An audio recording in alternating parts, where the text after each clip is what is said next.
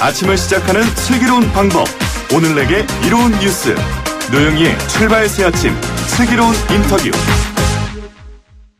네, 우리 지금 그 자유한국당을 제외한 4 플러스 1 협의체가 어젯밤 원내 대표급 회담을 열고 선거법 단판을 시도했는데 결국 어제 밤까지 일단은 합의, 합의에 말아내는 좀 실패했습니다.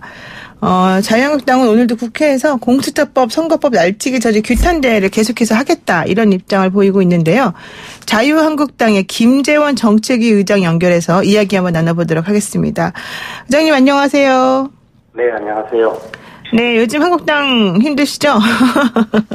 아, 그, 죽을 지경이네요. 네. 그 오늘도 국회에서 집회 열립니까? 어, 예, 국회에서 일단 예, 집회를 열고요. 또 지금 현재 한 8일째 아. 어, 황교안 대표를 포함해서 의원들이 그 어, 본회의장 앞에서 철야 농성을 계속하고 있습니다. 네, 그러시군요. 지금 그 황교, 황교안 대표가 하는 집회 정치, 혹은 이게 뭐, 좀 장외 투쟁이 계속 국회 안으로까지 끌어들이게 되는 상황, 이런 것들에 대해서는 한국당 내에서도 조금 이견이 있다면서요? 어, 그렇지만 지금 어쨌든지, 어, 워낙 비상 상황이고, 또 지금 사회자께서 앞에서 말씀하셨다시피, 이른바 그 4 플러스 1, 그러니까 여당과 그에 붙어 있는 군소 정당들이, 어, 제1여당을 그 배제하고 자기들끼리 계속 합의를 해, 해나가는 과정이고, 또 저, 얼마 전에는 512조 어, 5천억에 네. 슈퍼에서 예산까지 네. 어, 그냥 날치기로 처리해 버렸거든요. 그러니까 사실 저희들은 할 수 있는 수단이 아무것도 없습니다. 명색이 어, 협상의 당사자인 저에게도 전화 한 통 없이 어. 자기들끼리 어, 지금 국정을 요리하고 있기 때문에 저희들은 그에 대한 항의 수단이 마땅하지 않기 때문에 장애 네. 집회를 하고 또 국회 내에서도 어, 다른 정당의 의원들에게 항의하는 의사 표시를 하고 있는 것입니다. 그렇군요. 지금 언니 그, 으, 저기 약간 소리가 울리긴 하는데, 조금 그, 어디 계신지 궁금하네요? 네네. 네, 조금 울려서 저희 그 예, 청취자 예. 여러분들 청취자 여러분들 조금 양해를 바라고요. 어, 일단 예, 예, 울리지 않은 곳으로 조금 갔으면 좋겠는데 어쨌든 다음 질문하겠습니다. 어, 자유한국당 지지자들의 국회 진입 폭력 사태를 두고 말이 많아요. 사실은 그 민주당과 정의당에서는 집회 참가자의 폭력과 침탈을 한국당이 방조했다 이런 식으로 얘기하고 있는데 어떻게 보십니까? 근데 이제 그 그게 이제 어- 그저의 상황인데요. 네, 어, 그 통상적으로 국회 출입은 상시 자유로운 출입이 허용이 되었었고 음, 그런 과정에서 어, 우리 당의 집회에 참여하기 위해서 유튜브나 또는 다른 SNS를 통해서 소식을 접한 많은 시민들이 국회로 어, 들어오는 과정에서 상당히 그 문제가 발생했었습니다. 그러다 그렇죠. 보니까 조금 감정이 격해지신 분들이 계시지 않았나 생각을 하고 음, 어, 그 부분에 대해서 사법적으로 문제를 삼거나 또는 어, 뭐 형사 고발을 한다든지 그런 소식을 접하긴 했는데 네. 그거야말로 정치 공세가 아닌가 생각을 합니다. 아, 지금 그 민주당에서는 어, 황교안 대표, 심재철 그리고 원내대표, 뭐 그리고 조우진 우리 공화당 의원 이런 분들에 대해서 고발한다 이런 얘기를 하기도 했는데 네. 지금 그 뉴스공장 진행하는 김어준 씨 같은 경우에는 이거 2019년 판 용팔이 사건 아니냐 이러면서 이거 계획된 거 아니냐 이런 얘기까지 하더라고요. 혹시 그런 계획 같은 걸 한 거는 맞으세요? 한국당 입장에서? 그분들 뭐 원래 그냥 그냥 막 내지르는 분들이고 아무 근거 없이 네. 대상을 향해 어, 그 어, 발언을 하시는 분들이라서 뭐 음. 저는 제가 별로 대가를 같이 못 느끼고요. 네. 아, 이거 말도 안 되는 소리다. 민주당도 네. 네. 민주당도 또 네. 그뭐 수시로 이제 고소 고발을 해서 저도 그 지난번 이른바 그 패스트 트랙 그렇죠. 그 과정에서 고발 당해서 저도 지금 조사를 앞두고 있는데 음. 뭐 정치할 생각은 하지 않고 맨날 트집 잡아서 생트집 잡아서 고발이나 하고 이러니 이게 뭐 정치가 되겠습니까? 아, 특히 여당이 국정을 운영하는 분들인데 네. 어, 나라를 나라 꼴을 이중형으로 만들었으니 뭐 개탄을 금할 수 없는 음. 상황입니다. 생트집이다. 말도 안 되는 소리다. 이런 얘기고요. 제 지금, 입으로 그렇게 이야기하고 싶진 않지만 생각은 그렇습니다. 네, 알겠습니다. 지금 그 황교안 대표께서는 또 이런 얘기도 하셨습니다. 보수 성향 유튜브 유튜버들한테 입법 보조원 자격을 주는 게 어떠냐 이런 얘기 하셨는데 갑자기 근데 이 얘기가 왜 나온 거죠?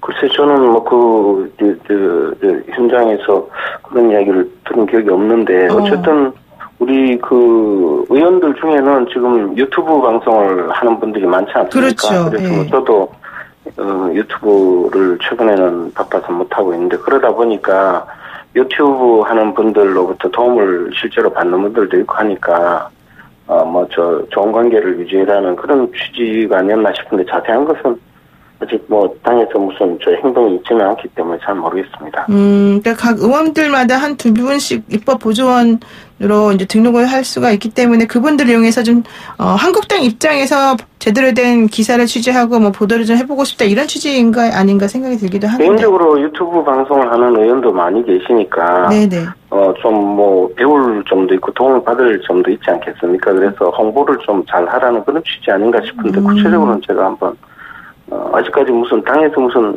그에 대한 구체적인 네. 액션이 없기 때문에 잘 모르겠습니다. 네, 그렇군요. 앞으로. 그리고 지금 4 플러스 1 그 협의체 관련해서 선거법 공수처법 통과가 이제 문제가 되는데요. 그 연동형 비례대표제 워낙 뭐 지역구를 225석으로 줄이고 비례를 75석으로 늘리는 뭐 이런 안까지 뭐 할 수도 있다 이렇게 민주당에서 나오니까 한국당에서도 어 이거 무기명이라면 우리도 받겠다 이런 얘기 했단 말이에요. 이게 이 원안대로 가게 되면 불가능성이 높다고 생각해서 지금 이 안을 받겠다고 얘기하신 거죠? 아니 근데 지금 그게 이른바 신속 처리 절차 즉 패스트 트랙에 올라 있는 법이거든요. 네. 김상정 의원이 대표 발의한 그 선거법 개정안인데 그것은 1월 하순이 되면 어차피 국회에서 표결을 해야 됩니다. 음. 그러니까 어 그 표결을 하는 것이 지극히 정상적인 절차인데요. 다만 저희 이야기는 제가 무기명 비밀투표 이야기가 아니라 의원들의 자유투표가 보장된다면 저 우리 당에서도 네. 의원들이 참여하도록 좀 설득하겠다 그렇게 말씀드린 것이고 실제로 의원들의 자유투표가 보장이 되어야 되는 것이 지금 어, 선거법을 두고 벌이는 이 추태는 건국 이래 이런 일이 처음이거든요. 여당에서 어, 일부 군소 야당들을 끌어모아서 하루에 한 가지씩 이야기가 나오지 않습니까? 네. 국가의 그 국민들이 그 민주 정치를 그 저 이렇게 가는 과정에서 가장 중요한 것이 선거인데 선거의 규칙을 정하는 선거법을 여당과 그에 동조하는 일부 어, 군소 정당들을 모아서 매일 한 가지씩 새로운 이야기를 쏟아내고 또 어, 수많은 국회의원들 고발하고 어, 패스트트랙에 올린 법을 이제 와서는 또 수정하겠다고 네. 온갖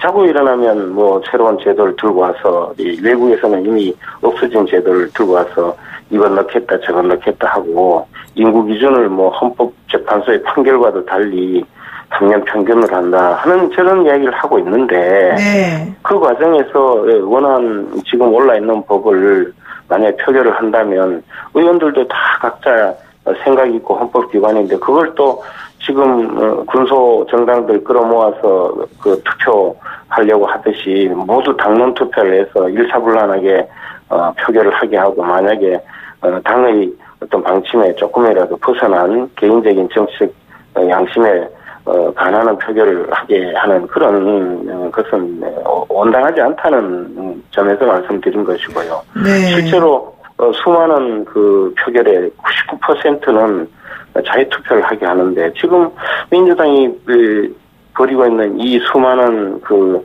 어, 반민주적인 작태는 반드시 그 의원들의 그 정치적인 어, 어떤 그 심판을 받아 마땅하다고 생각합니다. 그래서 자유투표를 한다면 우리 당도 자유투표에 의해서 표결에 참여하겠다라고 그렇게 말씀드린 겁니다. 뭐 그러면 기명 투표하면 되는 거 아닙니까? 왜 꼭 무기명 투표를 얘기하시죠?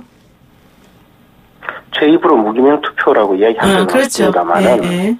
그렇지만 무기명 투표라면 훨씬 더 어, 자유 의사가 더 반영이 음. 되겠죠. 그래서 통상 인사에 관한 사안을 네. 즉, 그 국회에서 선출을 한다거나 또는 어, 불신임을 한다든가 이런 사안은 무기명 비밀 투표를 하게 해서 네. 어, 그 통상 의원들의 그 정치적 그 어떤 입장을 보다 더 자유롭게 밝히도록 그렇게 하고 있습니다. 네, 그렇군요.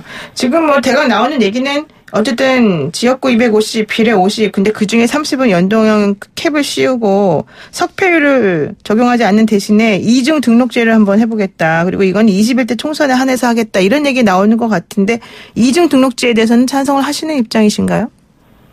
이중 등록제라는 것은 독일에서 어, 한때 시행하다가 이, 이 제도는 완전 반민주적인 네, 그렇죠. 어, 제도라고 해서 어, 지금은 시행하지 않는 제도로 알고 있습니다. 그런 네. 날가 빠진 어, 반민주적인 어, 선거제도를 갑자기 어느 날 들고 나와서 우리나라에 도입하겠다는 발상 자체 저는 이해할 수가 없습니다. 그리고 설사 지금 어느 나라에서 시행된다 하더라도 그것은 어, 이미 선거판에서 퇴출되어야 할 몇몇 분들의 구명용으로 지금 어, 도입하려고 하는 것이지 그게 국민 의사와 무슨 관계가 있습니까? 네. 그런 그런 선거제도를 끌고 와서 어, 우리나라에 도입하겠다는 그분들은 제정신인지 묻고 싶습니다. 네, 그렇군요. 어, 마지막으로 하나만 여쭙게요. 지금 그 정세균 차기 국무총리 후보자가 이제 어제 지명이 됐습니다. 어차피 국무총리라고 하는 자리는 대통령이 임명하고 국회에서 청문회 거쳐서 동의가 있어야 되는 건데 어떻게 보십니까? 인사청문회라든가 이 동의 절차를 통과하는 문제는? 저는 국회의장을 지내신 분을 그 입법부의 수장을 지내신 분이고 그 어, 국회의장으로 그 선출되실 때는 어, 중립적이고 공정하게 국회를 운영해 달라고 당제까지 사퇴하고 네. 차기 총선에 출마도 하지 않으면서 어, 공정한 국회 운영을 하도록 그 시스템으로 만든 어, 지금 그런 헌정사가 있거든요. 네. 우리가 오랫동안 그런 제도를 유지해왔고 특히 노무현 대통령 시절부터 지금까지 그 일관된 어, 민주주의의 원칙으로 지금 해왔는데 국회의 수장이 이 바로 어, 자기 임기 중에 다시 임기도 끝나기 전에 국무총리로 임명직으로 간다는 데 대해서 사실 좀 어, 깜짝 놀랐습니다. 음. 오래전에 본 친구 라는 영화의 한 대목이 생각났습니다. 시다발이라는 말이 있어요. 시다발이요? 진짜 진짜 이거는 경악할 일이라고 봅니다. 어떻게 네. 네. 민주주의 이 제도의 나라에서 네. 어, 우리나라 같이 어, 특히 이 국회의 그, 그 운영에 어, 공정을 기해달라고 그렇게 오랫동안 어, 쌓아온 그런 민주주의 원칙을 하루아침에 문희상 의장께서는 어, 입법부의 수장께서 행정부의 시녀처럼 국회를 음. 운영하시더니 바로 직전 의장께서는 아예 어, 대통령의 그 밑에 들어가서 행정부에서 그 일하시겠다는 그런 네. 발상을 보여주는 걸 보고 권력 분립 원칙이라든가 공화정의 원칙이라든가 또는 국회의 공정한 또 운영에 대해서는 어, 처음부터 그 아예 안중에도 없지 않았나 그런 생각입니다. 이 문제는 네. 앞으로 네. 어, 청 인사청문회라든가 또는 네. 어, 국회 동의 절차를 거치면서 엄중한 어, 심사를 거쳐야 하리라고 생각합니다. 근데 지금 말씀하시는 부분은 정세균 그 후보자 그 본인에 대한 문제라기보다는 이제 절차나 제도적인 문제에 관한 거라서 성문회에서 이거 가지고 문제 삼거나 이렇게 하는 거는 조금 부적절하다 이런 얘기도 나오지 않습니까? 임명 자체에 문제가 있다는 것이죠. 국회의장을 음. 지내신 분이 네. 국회의원이 장관 되는 것도 아니고 국회의장을 지내신 분이 어, 국무총리가 된다면 음. 과연 국회의장을 어떻게 열심히 그 봉사하셨길래 정권에 어, 봉사하셨길래 어, 국무총리로 음. 발탁이 되느냐라는 네. 국회 운영의 근본적인 문제와 이 공화정의 어, 원리, 특히 어, 권력 분립의 원리, 또더 나아가서 입법부 입법부의 그 행정부에 대한 통제 기능, 이 전체적인 어, 그 민주정의 원리가 아주 몰락했다는 생각이 드는 것이죠. 네. 그러니까 제가 시다발이라고 말씀드립니다. 알겠습니다. 오늘 말씀 여기까지 듣겠습니다. 고맙습니다. 예, 감사합니다. 네, 지금까지 자유한국당의 김재원 정책위 의장이었습니다.